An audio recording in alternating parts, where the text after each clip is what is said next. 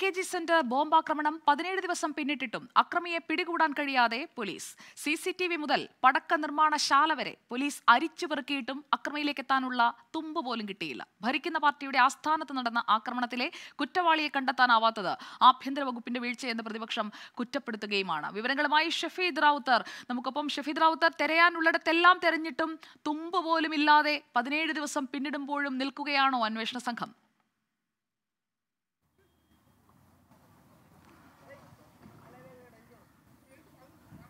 സുജയ ഈ സംസ്ഥാനം ഭരിക്കുന്ന പാർട്ടിയുടെ പ്രധാന കേന്ദ്രം അവരുടെ സംസ്ഥാന കമ്മിറ്റി ഓഫീസിന് നേരെ ഒരു അക്രമം ഉണ്ടാകുന്നു അല്ലെങ്കിൽ ഒരു സ്ഫോടക വസ്തു വലിച്ചെറിയുന്നു. ശേഷം ഈ സംഭവം ഉണ്ടായിട്ട് പതിനേഴ് ദിവസം കഴിഞ്ഞിട്ടും ഈ വളരെ കാര്യക്ഷമമായ അന്വേഷണം നടത്തുന്നു. അതല്ലെങ്കിൽ കുറ്റാന്വേഷണത്തിലും അതേപോലെ ക്രമസമാധാന പാലനത്തിലും വലിയ തരത്തിൽ മികവ് തെളിയിച്ചിട്ടുള്ള തലസ്ഥാന ജില്ലയിലെ പോലീസിന് ഇതുവരെയും എ കെ ജി സെന്ററിന് നേരേക്ക് സ്ഫോടക വസ്തു എറിഞ്ഞ പ്രതിയെ മാത്രം കണ്ടെത്താൻ കഴിഞ്ഞിട്ടില്ല എന്നുള്ളതാണ് ഇതിലെ ഏറ്റവും പ്രധാനപ്പെട്ട കാര്യം. നമുക്കറിയാവുന്ന പോലെ തന്നെ ഈ സ്ഫോടക വസ്തു എ കെ സെന്റർ നേരെ എറിഞ്ഞ ശേഷം അതൊരു വലിയ രാഷ്ട്രീയ ബോംബായിട്ട് ആ വിവാദം മാറിയിരുന്നു. L D F convener E P Jayarajan ആ ആ സംഭവ സമയത്ത് തന്നെ ഈ കുറ്റം മുഴുവൻ കോൺഗ്രസിന് മേലേക്ക് ചാരി. എന്നാൽ കള്ളൻ കപ്പൽ എന്ന നിലപാടായിരുന്നു ഇക്കാര്യത്തിൽ കോൺഗ്രസിനുള്ളത്. കോൺഗ്രസ് അത് നിയമസഭയിലടക്കം തിരിച്ചടിക്കുകയും ചെയ്തു. ഇക്കാര്യത്തിൽ ഈ സംഭവമുണ്ടായി പന്ത്രണ്ട് മണിക്കൂർ തികയും മുൻപ് പ്രത്യേക അന്വേഷണ സംഘത്തെ നിയോഗിച്ചു. ഈ പന്ത്രണ്ടംഗ പ്രത്യേക അന്വേഷണ സംഘമാണ് ഈ ദിവസങ്ങളിലെല്ലാം ഈ കേസന്വേഷണം നടത്തിയത്. തലസ്ഥാന ജില്ലയിലെ മുഴുവൻ പോലീസ് സംവിധാനവും ഈ കേസന്വേഷണത്തിൽ ഉണ്ടായിരുന്നു. പക്ഷേ അപ്പോഴും ഒരു തരത്തിലും അക്രമിയെക്കുറിച്ചിട്ടുള്ള ഒരു തുമ്പിലേക്ക് പോലും എത്താൻ പോലീസിന് അല്ലെങ്കിൽ അന്വേഷണ സംഘത്തിന് കഴിഞ്ഞിട്ടില്ല എന്നുള്ളതാണ് ഇക്കാര്യത്തിലെ യാഥാർത്ഥ്യം. യാഥാർത്ഥ്യം ആദ്യഘട്ടത്തിൽ സി സി ടി വി ദൃശ്യങ്ങളായിരുന്നു പോലീസ് പരിശോധിച്ചത്. ഏതാണ്ട് എ കെ ജി സെന്റർ മുതൽ കുന്നുകുഴി വരെയുള്ള എഴുപത്തിയഞ്ചിലധികം സി സി ടി വി ദൃശ്യങ്ങൾ പരിശോധിച്ചു. പക്ഷേ അക്രമിയുടെ മുഖമോ സഞ്ചരിച്ച സ്കൂട്ടറിന്റെ നമ്പർ പ്ലേറ്റോ കണ്ടെത്താൻ അല്ലെങ്കിൽ തിരിച്ചറിയാൻ കഴിഞ്ഞിട്ടില്ല. അതോടെ ആ പ്രതീക്ഷ അവസാനിച്ചു. പിന്നാലെ ഈ സോഷ്യൽ മീഡിയയിൽ എ കെ ജി സെന്ററിനെതിരെ പ്രതിഷേധവുമായി പോസ്റ്റ് ഇട്ടവരെ കേന്ദ്രീകരിച്ചായിരുന്നു അന്വേഷണം. ആ അന്വേഷണവും എങ്- എങ്ങും എത്തിയില്ല. കസ്റ്റഡിയിലെടുത്ത നാലുപേരെ മണിക്കൂറുകൾ നീണ്ട ചോദ്യം ചെയ്യലിനൊടുവിൽ വിട്ടയച്ചു. സാഹചര്യ തെളിവുകൾ ഇല്ല എന്നുള്ള വിലയിരുത്തലായിരുന്നു അവരെ വിട്ടയച്ചത്. പിന്നാലെ ഇക്കാര്യത്തിൽ നടത്തിയ അന്വേഷണം എന്ന് പറയുന്നത് ഈ അക്രമി സഞ്ചരിച്ചു എന്ന് കരുതുന്ന സ്കൂട്ടറിന്റെ മോഡൽ കേന്ദ്രീകരിച്ചായിരുന്നു. തലസ്ഥാന ജില്ലയിലെ ഡിയോ സ്കൂട്ടറുള്ള സംശയാസ്പദമായ രീതിയിൽ പോലീസിന് ചില സാഹചര്യങ്ങൾ തോന്നിയ ആളുകളെ കേന്ദ്രീകരിച്ചുള്ള അന്വേഷണവും പോലീസ് നടത്തി. പക്ഷേ ആ പ്രതീക്ഷയും അവസാനിച്ചു. ഒടുവിൽ ഇപ്പോൾ പോലീസ് ചെന്നെത്തി നിൽക്കുന്നത് അതായത് ഈ ഒരാഴ്ചയ്ക്കായി ഒരാഴ്ചയെ പോലീസ് നടത്തുന്നത് ഈ ഫോറൻസിക് റിപ്പോർട്ട് പുറത്തു വന്നിരുന്നു. അത് ബോംബല്ലെന്നും സ്ഫോടക എറിഞ്ഞ സ്ഫോടക വസ്തു ബോംബല്ലെന്നും ഏറുപടക്കത്തിന് സമാനമായ അല്ലെങ്കിൽ ആ സ്വഭാവത്തിലുള്ള ഒരു വസ്തുവാണെന്നും ഫോറൻസിക് റിപ്പോർട്ടിൽ പറഞ്ഞിരുന്നു.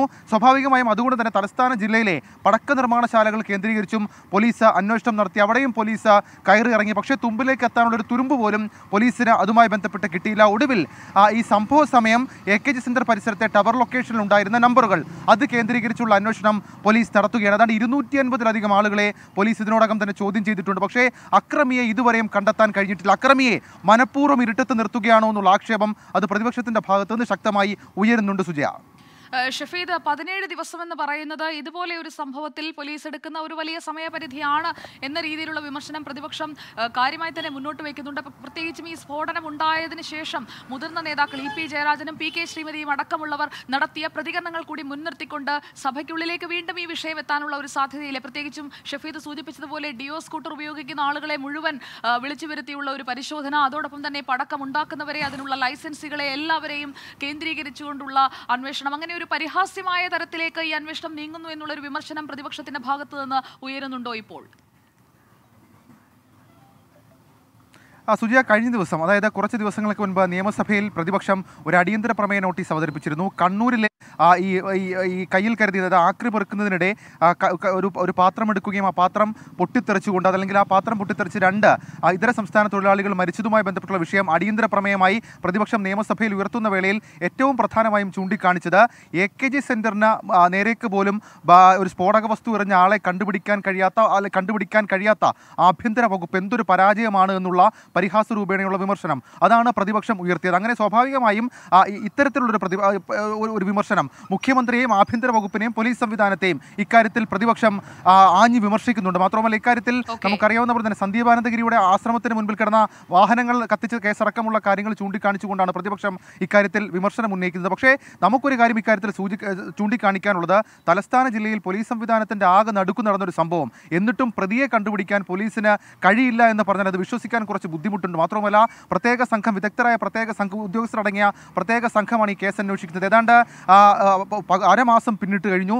ഇപ്പോഴും അക്രമി ഇരുട്ടത്താണ്. അല്ലെങ്കിൽ അക്രമിയെ അക്രമി തിരിച്ചറിയാൻ പോലും പോലീസിന് കഴിയുന്നില്ല എന്നുള്ളതാണ് ഇക്കാര്യത്തിലെ ഏറ്റവും ഗൗരവമായ സംഭവം സുജ വ്യക്തമാണ്. ഷഫീദ് റാവുത്തറാണ് വിവരങ്ങൾ നൽകിയത്. പതിനേഴ് ദിവസമായിട്ടും എ കെ ജി സെന്ററിന് പുറത്തേക്ക് സ്ഫോടക വസ്തു പടക്കത്തിന് സമാനമായ സ്ഫോടക വസ്തു എറിഞ്ഞയാളെ കണ്ടെത്താനോ പ്രതിയിലേക്ക് എത്താനുള്ള ഒരു തുമ്പിലേക്കെങ്കിലും എത്താനോ അന്വേഷണ സംഘത്തിന് കഴിഞ്ഞിട്ടില്ല എന്നുള്ളതാണ് വസ്തുത